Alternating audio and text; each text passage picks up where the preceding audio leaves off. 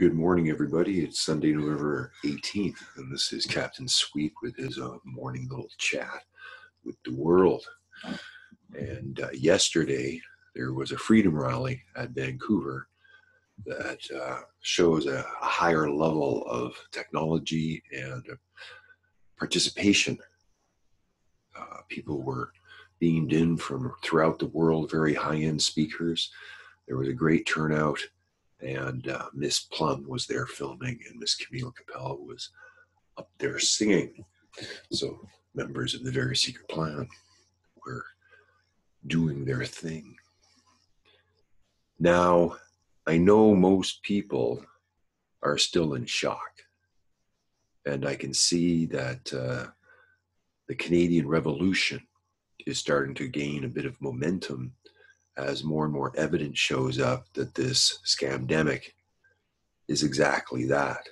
It is not based upon science, it is based upon design, based upon design to implement further control measures upon us in a methodology that is uh, concealed by supposed uh, value in safety and health for us.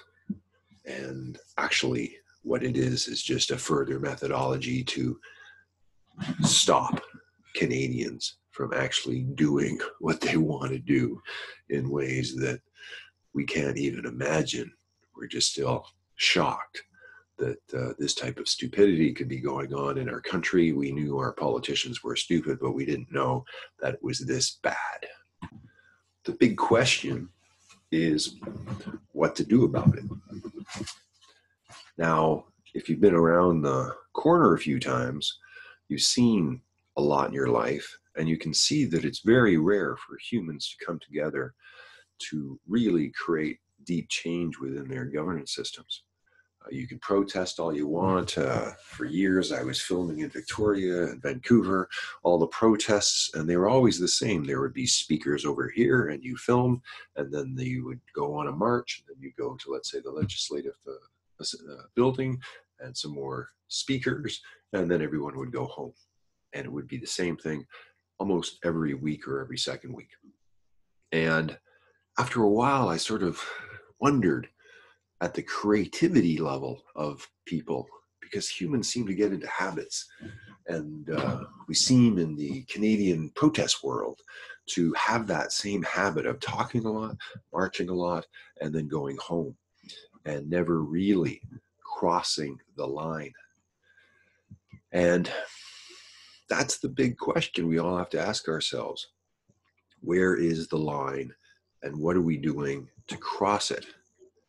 And I would say that we need creativity. I would say we need humor. I would say we need dancing parties. We need like large groups of humans, not social distancing, making a lot of noise, having a lot of fun, and getting a lot of attention, and making a lot of videos, and having campaigns where the online and the offline are working together in these pulses that constantly bring attention to the insanity of what is happening in so many areas.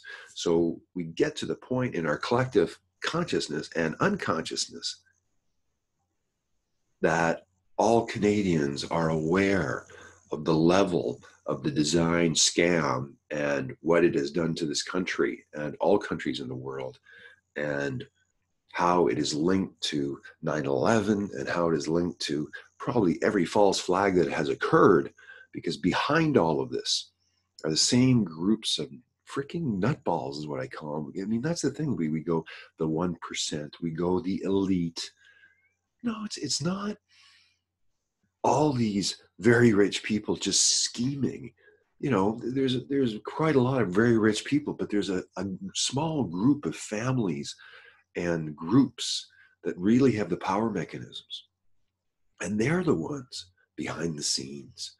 They're the ones doing this design. The politicians are just following orders.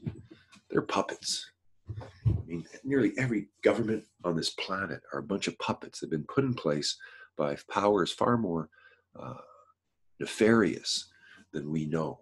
And now through the internet and such uh, heroes such as David Icke, we are we, we have been shown that there are dark forces at work that aren't don't want to get acknowledged and don't want to come into the light, don't want to be seen, don't want to be pointed at, can't be identified. So let's just use the name frickin' nutballs for now, just so we can all come to agreement that there are certain people and groups that are acting like enemies to our species.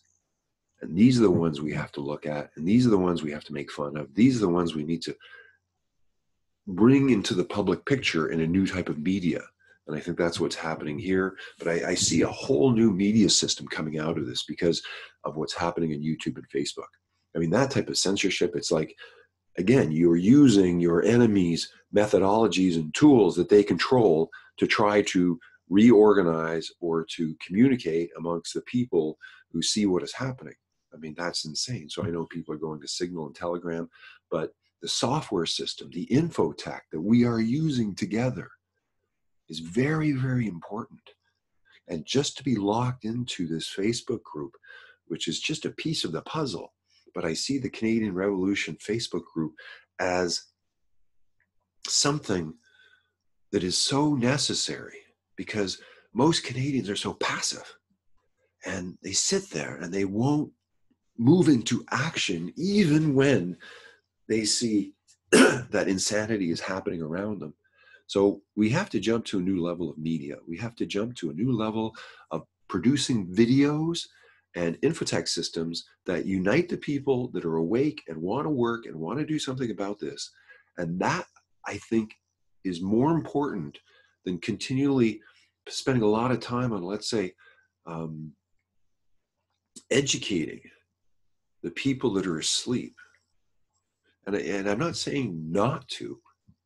I'm just saying that our movement or the movement needs to get a lot more sophisticated in terms of utilizing the amount of intelligence and utilizing the amount of people here who we don't know their gifts. Let's say there's 37,000 people in here. That's a lot of people. And if it was organized in a manner that actually had some structure that matched, let's say, businesses or service or nonprofit organizations that, uh, you know, get things done. And I'm presenting or proposing a new type of structure called a shared knowledge community that involves bringing 144 people together. And there are 12 different teams, and these teams all have a function.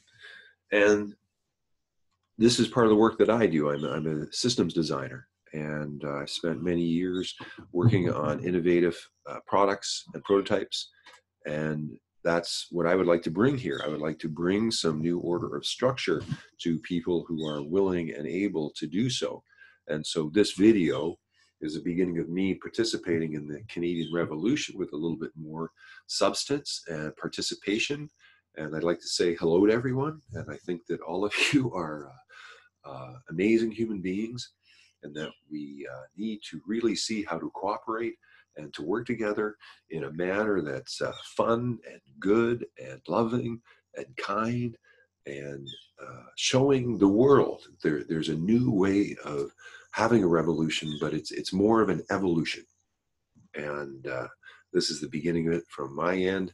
My name is Captain Sweep, and AKA uh, Elijah, and wonderful to meet you all let's let's really get to work and uh, get some things done.